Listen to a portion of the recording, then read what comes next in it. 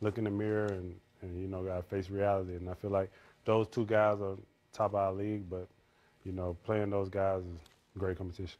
DeMarre, for a guy who's focusing on defense the way you have throughout your career, how different is it now trying to guard in this league?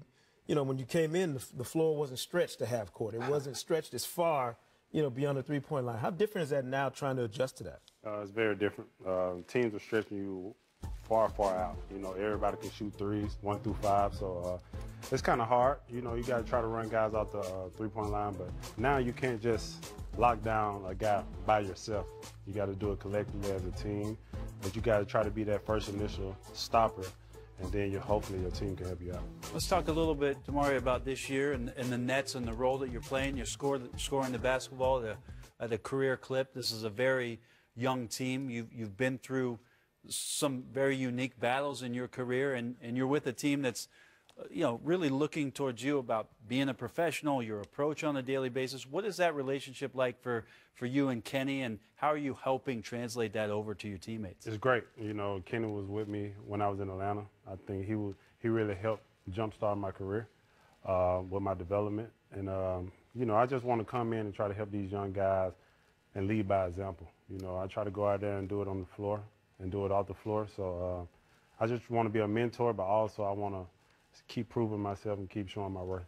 I'm wondering because you've had so many uh, different coaches, diverse coaches from your time, Memphis and Utah, and then Bud in Atlanta, Coach Casey in Toronto, and now Kenny.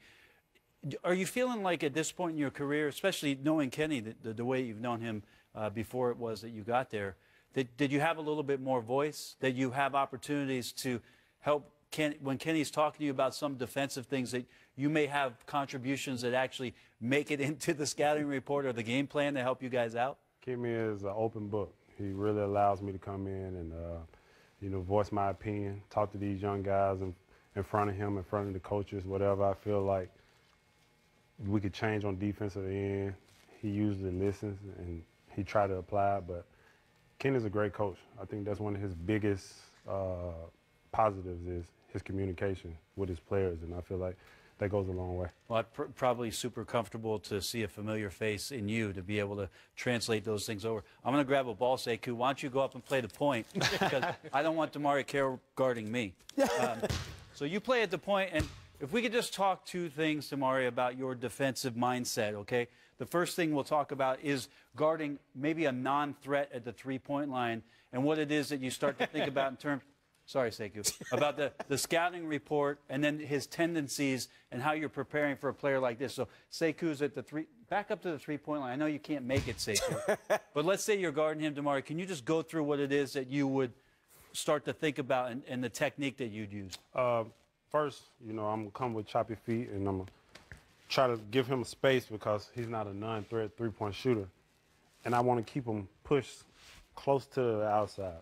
Because so if you, short, so short side of the floor. Short side, because yeah. if he gets in the middle, everything breaks down. Right. So I, I want to make him come to me. You know, get a little physical with him. Mm-hmm. Use, yeah, usually, usually they're gonna pass that thing. But if he's a non-three three-point shooter, uh, you really want to be inside the three-point line. You know, be long, and push them short side. Yeah. What What about to specifically to the to the length? So when you have a guy like Sekou's Step behind the three-point line. I know you can't shoot, but here's the thing, DeMarre. Like your length at that point, where is it that you know you want to have a pickup point? Are you just outside of touching distance? I mean, where is it that you gauge your? Yeah, I think out? that's the biggest thing is just outside of touching distance because yeah. you don't want them to blow by you. You know, if I get up on them, Sekou might. You know, these. Oh, you never know. Sekou is not blowing by anybody. you never no. know. you never might, he know. might. All right, let's when say. When are you asking for, Brent? When are you asking for the, the somebody to come to that next spot on defense? Like, uh, if you're the first line of defense, like you talked about, where is that second line of defense when you're pushing me this way? Is it the wing or is it somebody coming from? Usually guys shoot the three-point ball so great that you can't leave the wing. You can't leave the wing. Basically, you just staying home. Basically, we'll have a mid, you know, have a big man. Once you get in the paint, he's gonna come show. Yeah. But you never leave a strong never side to, Well, I will tell you, to DeMarre's point, and you hold the ball, okay? You're the offensive player. But to DeMarre's point, a lot of teams, Sekou, nowadays are not giving up this three-point shot in the corner. corner so three, when yeah. the drive happens, the defensive responsibility then comes from the big that's on the bottom side here. DeMarre's going to filter him here, but the big's going to step over and assist him. Let's talk about a guy who does shoot the three, and then maybe what you process if Sekou actually turns into Klay Thompson. Oh, I'm I'm running him off the three point line. This is a I'm a percentage guy. I'm a number guy. So I feel like this is this shot is way will cost you more in the game than these little two pointers. So I'm trying to run him off the three point line. Hopefully he'll force him to like a pull up, because that's a way low percentage shot Right. than this three point shot. Good. Look, We're going to come back to line up so we can take a look at your. You sure you don't suit. want me outside the three-point line again? Sekou, you're not a shooter. Thank you. Well, that shows the difference between a guy that can get it done everywhere, like Brent Barry, and guys like us, right? Well, it's not really fair when you got six eight guard and five. There's not a lot getting done when DeMarre Carroll's guarding you. Trust me. Thanks for oh, coming. in, I appreciate your Thank time, you. man. Thank you. All right, from one team on the court figuring out how to work together